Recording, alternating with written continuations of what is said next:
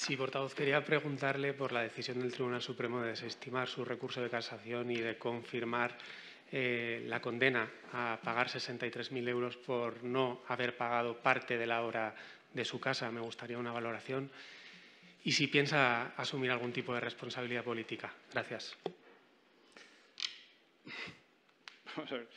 Eh, este es un caso que ustedes ya conocen porque lo hemos explicado aquí en detalle hace ya dos años y medio, pero os explicaremos las veces que haga falta. Se trata de algo tan sencillo y tan eh, frecuente en el mundo de la construcción como un procedimiento de discrepancias de precios contradictorios. Hubo un contratista que pedía 220.000 euros. La justicia me dio la razón en un 75%, porque decidió que había que pagar 60.000 euros.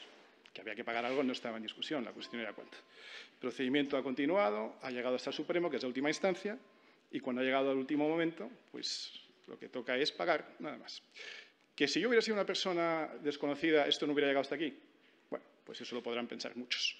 Pero, mire, yo no vengo aquí a quejarme. Yo vengo aquí ya llorado de casa y, por tanto, acato la decisión, haré lo que se me pide, la responsabilidad que asumo es pagar la multa, vamos, la multa no, pagar la parte que se me indica.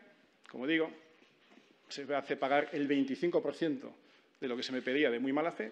Yo hubiera pensado que era menos, pero acato la sentencia sin más. Lo que no voy a hacer es lo que hacen otros partidos políticos y otros portavoces, hacer grandes aspavientos, denunciar a la justicia.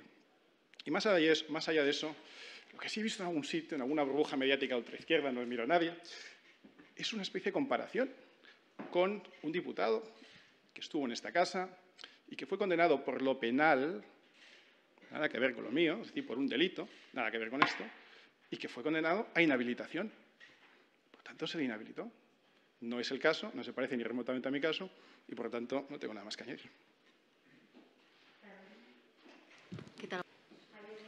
Sí, eh, señor portavoz, ¿le sorprende que el partido más crítico con su condena sea Podemos, que es el partido con más condenados en activo? Hablamos del portavoz Pablo Echenique, condenado doblemente por atentar contra el honor de un fallecido y por pagar en B a su asistente, que tienen a condenadas como Isa Serra en el Ministerio de Irene Montero, que han llegado a tener como cabeza de lista una asesina en Ávila y que también medios como el diario.es se sumen al ataque y medios que han sido condenados por mentir.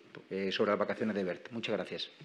Ya digo que yo de la burbuja mediática y política de la ultraizquierda no me sorprende nada, interactúo con ellos con toda naturalidad, pero no me sorprende absolutamente nada. Insisto que esto no tiene nada que ver eh, con otro. Esto es un recurso que se ha inadmitido en el Supremo, nada que ver y que viene muy atrás y que es de origen mercantil, después pasa por lo civil, y que no tiene nada que ver con auténticos delitos que se han condenado por la vía penal eh, de partidos que están llenos de delincuentes, claro.